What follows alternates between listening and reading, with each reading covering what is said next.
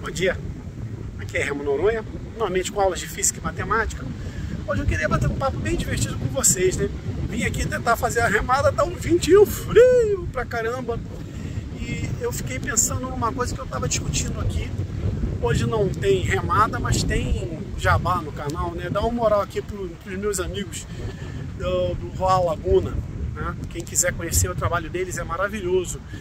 E a ideia hoje é discutir o seguinte: quanto de ciência a gente vê por aí, né? Então, vamos ver a canoa havaiana. Nós estamos nessa linha da laguna de Araruama, na pontinha do Outeiro.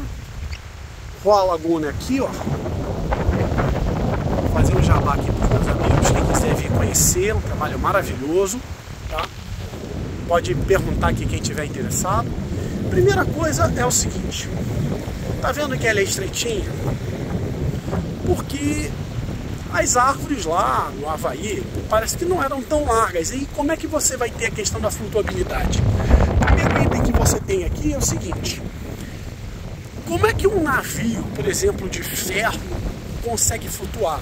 Ferro é mais pesado que a água? Caramba! Mas o navio não é feito só de ferro. Ele é feito de ferro e de ar.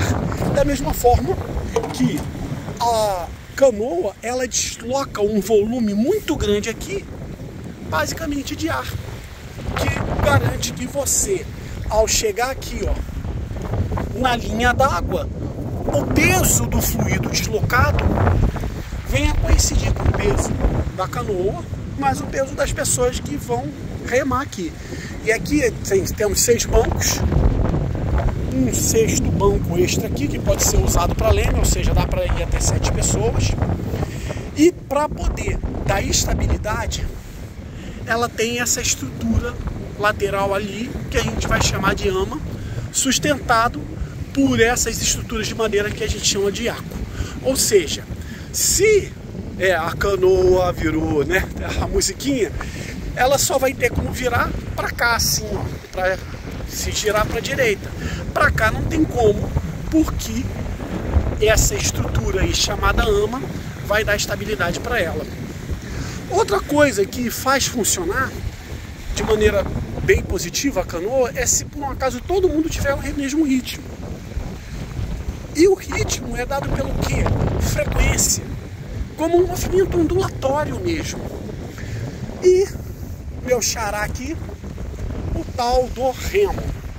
Legal? Deixa eu distanciar aqui, o remo ficar longe do outro, para a gente entender o seguinte. O remo vai funcionar como uma alavanca. A pá dele vai se apoiar na água e você pode você coloca uma das mãos aqui e a outra em cima. Repara que se você fizer muita força aqui com a mão de baixo, como você tem um braço de apoio menor, o teu rendimento é pequeno. Então você usa essa mão aqui fazendo menos esforço, jogando essa mão aqui para baixo, porque você vai ter maior braço de apoio. Bem, outra coisa que a gente tem que entender é que quem rema cuida, né?